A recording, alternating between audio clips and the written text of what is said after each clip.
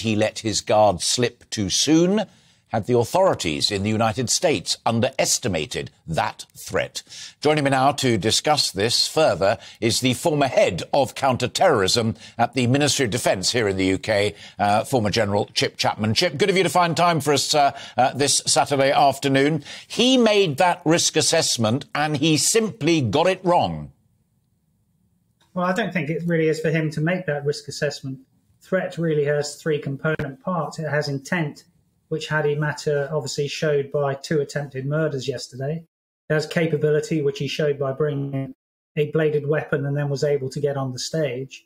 And he had the opportunity. So not only was he granted that entry, but there was no barrier for him to get on the stage. We do know that there were two security guards who acted very quickly, but there was no depth between Salman Rushdie and the assailant. So somewhere the risk assessment and the vulnerability assessment that you would do around a, a potential target was uh, failed in the extreme. Because, uh, as folk will have just heard in Tatiana's news bulletin with the interview there from America, that the organisers of this event, which was all about celebrating freedom of speech, the right to say what you want to say and write what you want to say, they said they did not want to have higher profile security. In this country, would the authorities have overruled that? Yeah, and I think certainly since the Manchester uh, attack in 2017, you know, protection is a responsibility, uh, not a mission, but it's for the uh, the the people, not only the event organisers, but for those in the city jurisdictions. And of course, in America, there are 18,000 different jurisdictions of law and order. So somewhere, someone let their guard down on this.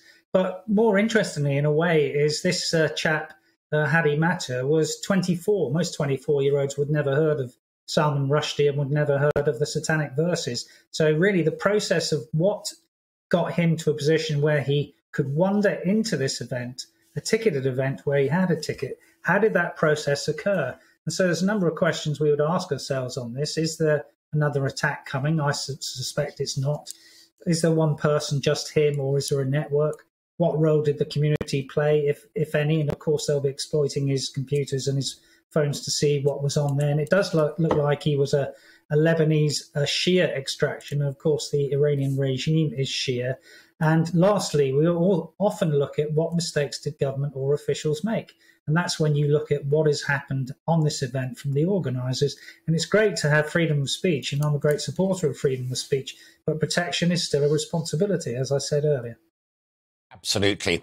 And, and uh, segueing slightly, because I'm conscious that that many folk are either trying to go on holiday or have managed to get away for the first time. And you just have to be at an airport to hear people groaning about having to give over their bottle of water at security or have the soles of their shoes checked. And come on, I didn't think that threat was still there. In your professional opinion, as the former point man at the Ministry of Defence, that threat is still real, or it's likely that this guy is going to prove to be a lone wolf? Well, firstly, MI5 now call these people uh, self-initiated terrorists rather than lone wolf. Uh, lone wolf suggests some sort of cunning rather than uh, most of these people not having that cunning. I do think it's probably an isolated incident. There is the chances of another 9/11 happening these days are remote. And one of the reasons for that, particularly in the example you uh, you gave there about airports, Alastair, is because airport security is a lot greater, cabin security is a lot greater we have no fly lists, which in the, only a handful of people were on in 2001. And if someone, particularly on a plane, were to be uh, try and hijack it, we expect people to now fight against that, uh, as they did in one of the planes in 2001. Brilliant stuff.